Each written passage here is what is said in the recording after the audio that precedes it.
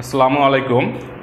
সুপ্রিয় শিক্ষার্থীরা, Monoshri national ideal স্কুলের হোম স্কুলের প্রোগ্রামে আমি মোহাম্মদ আবুল হোসেন সদীপ তোমাদেরকে স্বাগত জানাচ্ছি। আমি আজকে নবম শ্রেণির রসায়ন বিজ্ঞানের এক অধ্যায় ছয় এর একটি সৃজনশীল প্রশ্নে তোমাদের সাথে আলোচনা করব। আজকে হলো তোমাদের রসায়ন বিজ্ঞানের নবম শ্রেণির ক্লাস নং সাঁত্রিশ এবং আজকে তোমাদের এইচডব্লিউ নং সেটাও থাকবে সাঁত্রিশ আমি তোমাদেরকে এইচডব্লিউ পরে জানিয়ে দিব। আজকে আমি তোমাদের সাথে রসায়ন বিজ্ঞানের অধ্যায় ছয়, সৃজনশীল প্রশ্ন নং দুই, এটি নিয়ে তোমাদের সাথে আলোচনা করব। এখন, এই সৃজনশীল প্রশ্ন নং দুই কোনটা? এটা হলো আমরা যে তোমাদের সাজেশন দিয়েছি, এই সাজেশনে দুই নং সৃজনশীল। আমরা তোমাদের অলরেডি বার্ষিক পরীক্ষার জন্য কিছু সাজেশনে সৃজনশীল প্রশ্ন দিয়েছি। সেখান থেকে আজকে দুই নম্বর সৃজনশীল প্রশ্ন নিয়ে তোমাদের সাথে আমি আলোচনা করব। তাহলে প্রথমেই সৃজনশীল প্রশ্নটা এখানে লেখা আছে। তোমরা সবাই খাতা এবং কলম নিয়ে প্রথমে সৃজনশীল প্রশ্নটা লিখো। তোমাদের সাথে অবশ্যই ক্যালকুলেটার লাগবে, রাখবে, কারণ এখানে হিসাব করতে হবে, যেহেতু এটা ম্যাথমেটিক্যাল অঙ্ক, তাই অবশ্যই তোমাদের এখানে কী করতে হবে? হিসাব করা লাগবে। একই সাথে তোমরা রসায়ন বিজ্ঞান অধ্যায় ছয়, এই বইটি, রসায়ন বিজ্ঞান বইটিও কাছে রাখো।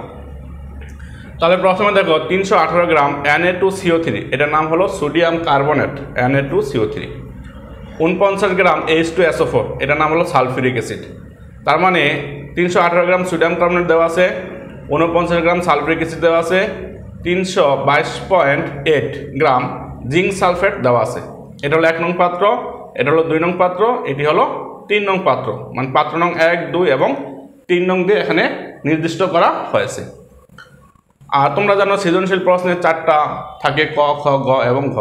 এখানে কতে আছে মোলার দ্রবণ কি? খ নম্বর আছে ঘনমাত্রার সাথে মোলারিটি কীভাবে সম্পর্কিত?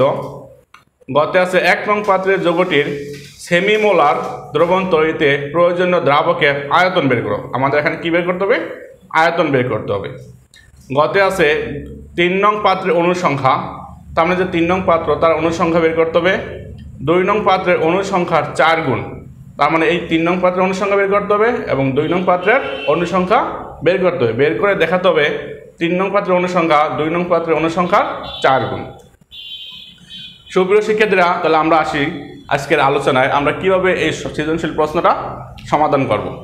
তাহলে প্রথমে আমি ক এবং খ এর যে একটা অ্যান্সার সেটা তোমাদের জন্য সহজ করে লিখে দিয়েছি। তাহলে আসো ক নম্বরটা। ক নম্বর বলছে কি, মোলা দ্রবণ কি? নির্দিষ্ট তাপমাত্রায় এক লিটার দ্রবণ। এখানে মনে রাখতে হবে, নির্দিষ্ট তাপমাত্রা কিন্তু অবশ্যই বলা লাগবে। যদি তোমরা নির্দিষ্ট তাপমাত্রা না বলো, তাহলে কিন্তু চাইলে নাম্বার কেটে দিতে পারে। এক লিটার দ্রবণ বলতে হবে, এক লিটার। আমরা কয় লিটার নিয়ে কাজ করব? এক লিটার অথবা এক হাজার এমএল। এক লিটার অথবা কি? এক হাজার এমএল। এক লিটার দ্রবণের মধ্যে যদি এক মোল দ্রব দ্রবীভূত থাকে, তবে ওই দ্রবণকে মোলার দ্রবণ বলা হয়। এখন মোল কি সেগুলো তোমাদের আমরা এর আগে আলোচনা করেছি। মোল হলো পদার্থ পরিমাপের একক। তাহলে এখানে সংজ্ঞাটা আমরা পেয়ে গেলাম, এটা বইয়েও আছে সংজ্ঞা, তোমরা এখান থেকে পড়লেও হবে।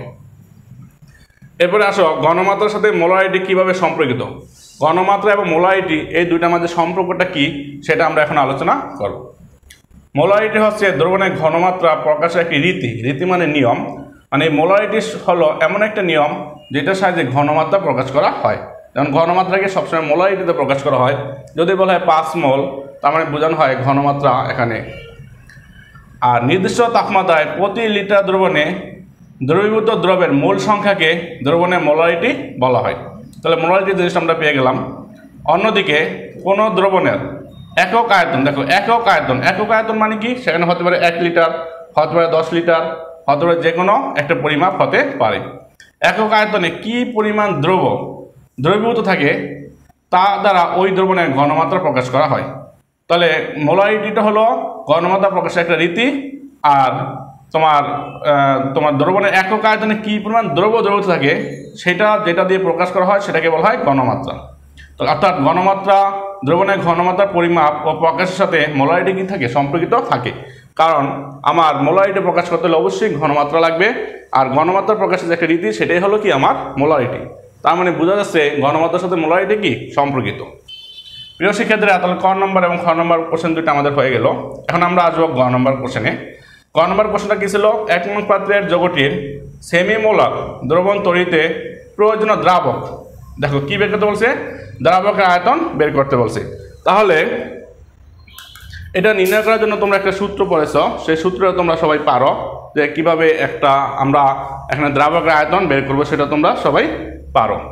এখন এই সূত্রটা তোমাদের সবারই জানা আছে, কারণ এর আগের ক্লাসে আমরা এই সূত্র নিয়ে আলোচনা করেছি। এখন এই সূত্র থেকে আমরা এই অঙ্কগুলো করার চেষ্টা করব। তাহলে আসো ঘ নম্বর। ক নম্বর, আমাদের যেহেতু দ্রাবকের আয়তন বের করতে বলছে, আয়তন মানে কি? বি আয়তন মানে বি বের করতে বলছে, আমরা এখানে বি বের করব। আর এক নং পাত্র, এক নং পাত্রে কী দেওয়া আছে? সোডিয়াম কার্বনেট দেওয়া আছে। তাহলে এক নং পাত্র থেকে আমাদের কি কি ইনফরমেশনগুলো দেওয়া আছে সেটা আমরা প্রথমে লিখে নেই। প্রথমে দেওয়া আছে তিনশো আঠারো গ্রাম। তিনশো আঠারো গ্রাম মানে কি? দ্রবের বর। দ্রবের বর। দ্রব্যের বরকে ডব্লু দিয়ে প্রকাশ করা হয়। ডব্লু সমান তিনশো আঠারো গ্রাম। দ্রবের বর দেওয়া আছে তিনশো আঠারো গ্রাম। তারপরে N A two CO three দেওয়া আছে। N A two CO three মানে সোডিয়াম কার্বনেট। তাহলে সেই সোডিয়াম কার্বনেটের আণবিক ভর বের করতে হবে। NA two CO three sodium কার্বনেটের আণবিক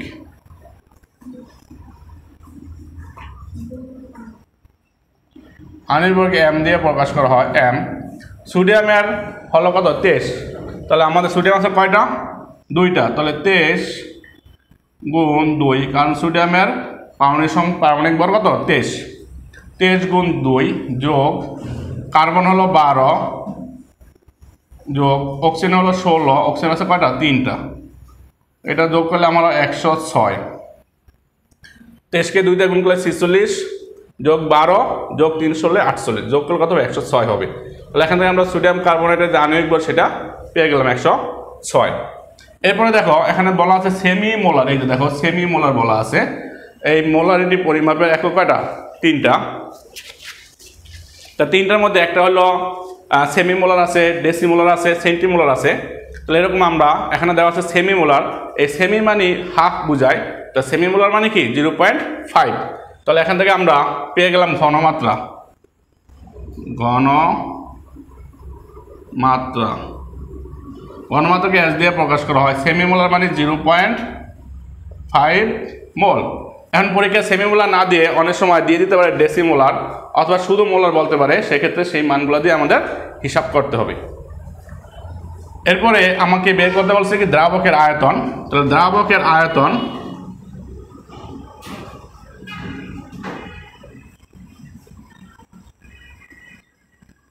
দ্রাবকের আয়তনকে বি দিয়ে প্রকাশ করা বি সমান কোয়াট পার্সেন্ট মানে এখানে আমরা বিয়ের মানটা বের করব। এখন আমরা সূত্রটা লিখি, আমরা জানি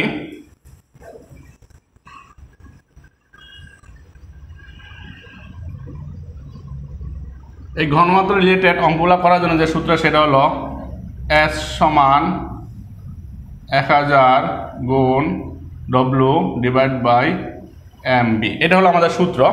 ঘনমাত্রা নির্ণয়ের যে অঙ্ক করার যে সূত্র, সেটা হলো এস সমান এক হাজার গুণ W divide by M B এখন আমাকে বের করতে হবে বি এম বের করতে বলতে পারে ডব্লিউ বের করতে বলতে পারে এস যে কোনো মানটা বের করতে বলতে পারি। যেহেতু আমাদের এখানে বি বের করতে বলছে আয়তন, সেজন্য আমরা এখানে বি এর মান বের করব। এই বি এর মান বের করার জন্য আমরা আর গুণন করলাম। তাহলে এখানে হয়েছে এস এম বি সমান এক হাজার গুণ, এই এস এর সাথে এম বি কি হয়েছে? গুণ হয়ে গেছে। বা যেহেতু আমাকে বি এর মান বের করতে আমরা বি এই পাশে রেখে দেব। আর এই পাশে হবে এক হাজার গুণ ডব্লু। এই এস এম বি এখানে গুণ আছে, এখানে আসলে কী হয়ে যাবে? ভাগ হয়ে যাবে। এখন আমরা মান বসাবো। এখানে এক হাজার একটা সংখ্যা, এটা নিয়ে আমাদের কোনো ঝামেলা নাই। লিখে দিলাম ডব্লিউ সেটা দেওয়া আছে তিনশো আঠারো গ্রাম। আমরা লিখে দিলাম তিনশো আঠারো। এস এস মানে সেমিমোলার সেখানে জিরো পয়েন্ট ফাইভ এম এর মান কত? এম এর মান একশো ছয়। সেটা আমরা উপরে বের করেছি। এখন এটা তোমরা ক্যালকুলেটরে হিসাব করবা। সবাই ক্যালকুলেটরে হিসাব করলে অ্যান্সারটা চলে আসবে। আমি এখন করাই দিচ্ছি এভাবে। একশো ছয়কে যদি আমরা এটা দিয়ে কাটি, তাহলে সেখানে হয় তিন। তিন দিয়ে এক হাজারকে যদি গুণ করে, হয় তিন হাজার। তিন হাজারকে যদি জিরো পয়েন্ট ফাইভ দিয়ে ভাগ করি, তাহলে হবে ছয় হাজার। এটা তোমরা ক্যালকুলেটর হিসাব করলে অ্যান্সারটা চলে আসবে। এখন আমরা যখন এই সূত্র অঙ্কটা করব, আমার যে মানটা বেরোবে সেটা আসবে মিলিলিটারে কিসে আসবে? মিলিলিটারে তাহলে এখানে ছয় হাজার যেটা আসবে, সেটা অবশ্যই হবে কি? মিলি লিটার এখন, কেউ চাইলে এটাকে লিটারে কনভার্ট করতে পারো, অথবা মিলি লিটার লিখে দিলেও হবে। তাহলে আমাকে বের করতে বলছে, প্রয়োজনীয় দ্রাবকের আয়তন। তাহলে সুতরাং, প্রয়োজনীয় দ্রাবকের আয়তন পেয়ে গেলাম কত? লিখে দেবো সুতরাং প্রয়োজনীয় দ্রাবকের আয়তন। ছয় হাজার মিলি লিটার অথবা ছয় লিটার। অ্যান্সার কত হবে? ছয় হাজার মিলি লিটার অথবা ছয় লিটার। তাহলে সুপ্রিয় শিক্ষার্থীরা, আমি আশা করি তোমরা এই গ অঙ্কটা বুঝতে পেরেছ। কারও সমস্যা, আশা করি সমস্যা নেই। এখন আমি তোমাদের সাথে ঘর নাম্বার যে অঙ্কটা আছে, সেটা নিয়ে আলোচনা করব।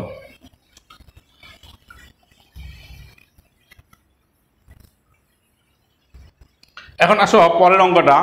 বলা হয়েছে তিন মোল ঘ নম্বর বলা হয়েছে কি? তিন নং পাত্রের অনুসংখ্যা তিন নং পাত্রে কি আছে? তিনশো বাইশ point eight gram zinc sulphate আছে। দুই নং পাত্রের অনুসংখ্যার চার গুণ। তার মানে তিন নং পাত্রের অনুসংখ্যা বের করতে হবে এবং দুই নং পাত্রের অনুসংখ্যা বের করতে হবে। বের করে আমরা দেখাবো আসলে চার গুণ হয় নাকি হয় না। তাহলে আসো গহ নম্বরের সমাধান করি আমরা। গহ নম্বর তিন নং পাত্রের অনুসংখ্যা। তাহলে আমরা প্রথমে এই যে তিন নং পাত্র আছে সেটা আমরা বের করব। তো আমরা এখানে লিখে নেই। তিন নং পাত্রের তিন নং পাত্রের ক্ষেত্রে তাহলে তিন নং পাত্রে কী কী দেওয়া আছে সেটা আমরা লিখে নেই। দেওয়া আছে জিঙ্ক সালফেট, দেওয়া আছে কি? তিনশো আঠারো পয়েন্ট এক গ্রাম। তাহলে তিন নং পাত্রে দেওয়া আছে জিঙ্ক সালফেট। এই অনুসংখ্যা বের করার ক্ষেত্রে আমাকে অবশ্যই কি লাগবে? আণবিক বল লাগবে। তাহলে আমরা জিঙ্ক সালফেটের আণবিক বল বের করে নিব। তিন নং সাথে দেওয়া আছে আমাদের zinc sulphate that N SO four এখানে জিঙ্ক সালফেট, জিঙ্ক সালফেটের আণবিক বর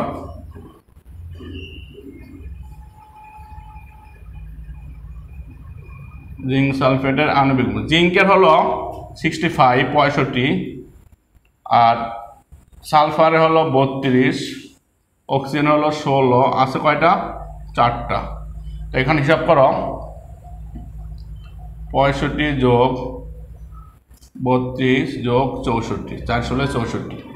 এখন এটা তোমরা ক্যালকুলেটার দিয়ে হিসাব করে ফেলবা। তাহলে কত আছে দেখো? একশো একষট্টি আসে।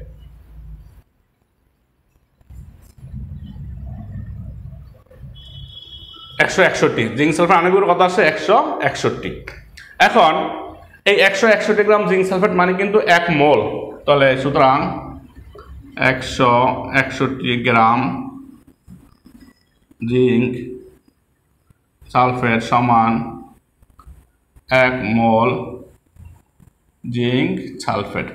এক মোল জিঙ্ক সালফেট কেন? কারণ আমরা জানি আণবিক বর যত, ওইটাই হলো তার এক মোল। তাহলে এক মোল, যে কোনো পদার্থের এক মোল অনু থাকে কয়টি? অ্যাভোগাড্রো সংখ্যক, আমরা এখন লিখ লিখব সেটা। আমরা জানি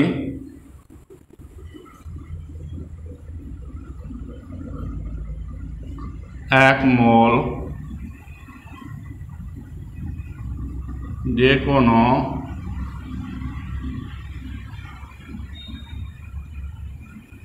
পদার্থে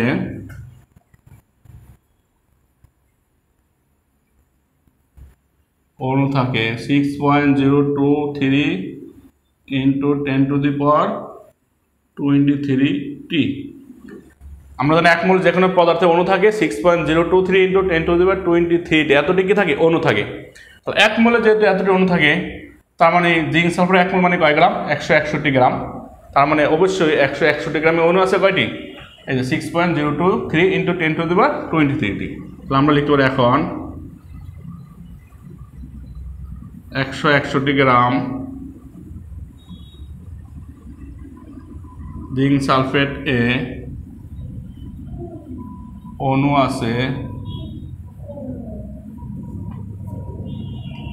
six point zero two three into ten to the bar twenty three টি অতএব এক গ্রাম জিঙ্ক সালফেট এ অণু আছে এক গ্রামে অবশ্যই কম থাকবে এই জন্য ভাগ হবে six point zero two three into ten to the power twenty three ভাগ কত? একশো একষট্টি। এখানে অবশ্যই কী লিখবা? টি লিখবা। আর দেখো, তিনশো আঠাশ পয়েন্ট এইট বলছে আমাদের। আমরা ওখান থেকে নিয়ে আসলাম।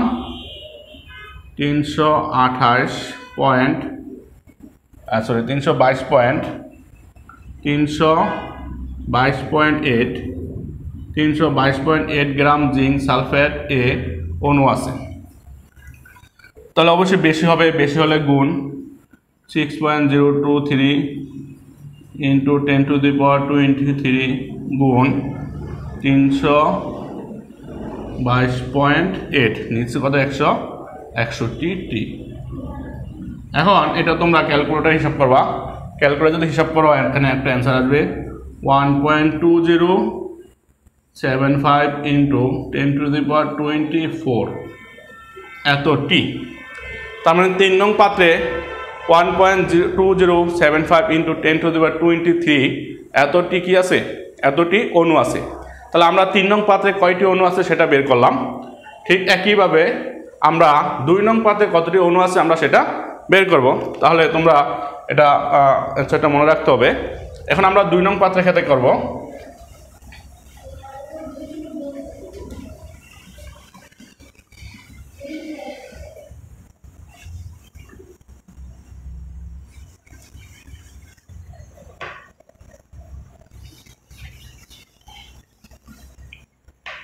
ঠিক অনুরূপভাবে আবার দুই নং পাত্রের ক্ষেত্রে বের করো। আমরা দুই নং পাত্রের ক্ষেত্রে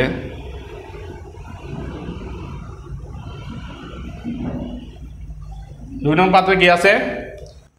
এইচ টু এসও ফোর তাহলে আমরা প্রথমে লিখব এইচ টু এসও ফোর এর আণবিক বর এইচ টু এসও ফোর হাইড্রোজেনের কত? ওয়ান ওয়ান ইন্টু দুই, সালফারের কত? বত্রিশ। অক্সিজেনের কত? ষোলো ইন্টু চার। তো আমরা যদি হিসাব করি, পেয়ে যাব আটানব্বই। তার মানে এক মল সালফারিক অ্যাসিড আগের মতন করে করো সুতরাং এক mole H two SO four সমান আটানব্বই গ্রাম। তাহলে এর আগে আমরা জানি লিখছিলাম, সেটা এখানে না লিখলেও হবে। আমরা এখন সরাসরি আটানব্বই গ্রামে অনু আছে কয়টি? সিক্স পয়েন্ট জিরো টু সেটা লিখে ফেলব। এখন আটানব্বই gram H two SO four এ অনু আছে six point zero two three into ten to the power twenty three টি তো সুতরাং এক গ্রাম সালফ্রিক অ্যাসিডে অণু আছে। এক গ্রামে অবশ্যই কম থাকবে।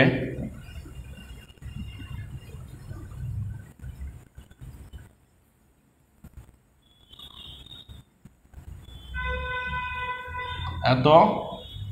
টি আর আমাকে বের করতে বলছে কত? উনপঞ্চাশ সুতরাং উনপঞ্চাশ গ্রাম সালফ্রিক অ্যাসিডে অণু আছে। তাহলে six point zero two three into ten to the power twenty three নিচে হলো কত? আটানব্বই। এটাতে ভাগ করলে দুই। দুইটা যদি এটাকে হিসাব করি, আমাদের মানটা আসবে three point zero one one five into ten to the power twenty three টি তাহলে হিসাব করলে আমরা মানটা পেয়ে যাব three point zero one one five into ten to the twenty three টি তাহলে দুই নং পাত্রের অনুসংখ্যা আমরা বের করে ফেললাম। তাহলে আশা করি এটুক নিয়ে তোমাদের কারও সমস্যা নেই। এখন আমাকে বের করতে বলছে, তিন নং পাত্রের অনুসংখ্যা, দুই নং পাত্রের অনুসংখ্যার চার গুণ। এখন চার গুণ হয় কি হয় না সেটা আমাদের দেখাতে হবে। তো লেখো এখন তিন নং পাত্রের অনুর সংখ্যা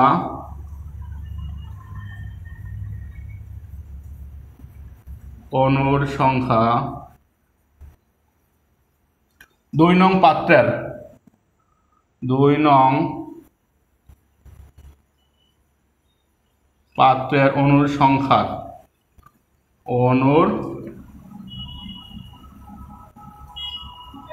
সংখ্যা। দেখো, আমরা ভাগ করব। তিন নং পাত্রে যে আমরা অনুসংখ্যাটা পেয়েছিলাম, সেটা আমাদের ছিল one point two zero seven five into ten to the power twenty four আর আমরা দুই নং পাত্রে যে অনুসংখ্যা পেয়েছি, সেটা হলো three point zero one one five into ten to the power twenty three টি টি কাটা যায়, তাহলে এখানে আমার হিসাব করলে আসে ফোর পয়েন্ট হিসাব করলে কথা আসে four point zero zero nine তাহলে এটাকে আমরা পড়ায় সমান দিয়ে লিখতে পারি কি? চার গুণ। কি লেখা যায়? চার গুণ লেখা যায়। তার মানে তিন নং পাত্রের অনুসংখ্যা, দুই নং পাত্রের অনুসংখ্যার কয় গুণ? চার গুণ। এরপরে তোমরা লাস্টে ফিনিশিংটা লিখে দিবা। অতএব তিন নং পাত্রের অনুসংখ্যা, দুই নং পাত্রের অনুসংখ্যার চার গুণ। প্রতিপাদন করা হলো। কারণ আমরা হিসাব করে দেখছি, তিন নং পাত্রে যে কটা অনু আছে, সেটাকে যদি আমরা দুই নং পাত্রের অনুসংখ্যা দিয়ে ভাগ করি, তাহলে পড়ায় চার গুণ অনুসংখ্যা পাওয়া যায়। সুপ্রিয় শিক্ষার্থীরা, আমার আজকে এখানে ক্লাস শেষ করব। কারণ আমি এখন আজকে তোমাদের ফুল সৃজনশীলটা এখানে আলোচনা করে দিয়েছি। ক, খ, গ গ ক এবং খয়ের অ্যান্সার লিখে দিয়েছি। গ এবং গ আমি অঙ্কটা সমাধান করে দিয়েছি যাতে তোমাদের কোনো সমস্যা না হয়। হ্যাঁ এখন আমি তোমাদেরকে এইচডব্লিউ দিব। আজকে এইচডব্লিউ নাম্বার হলো সাঁত্রিশ এইচডব্লিউ নং কত? এইচডব্লিউ নংও আজকে সাঁত্রিশ ক্লাস নং সাঁত্রিশ এইচডব্লিউ নং সাঁত্রিশ আমরা যে সৃজনশীলে করেছি এই সৃজনশীলের গ এবং গ। সৃজনশীল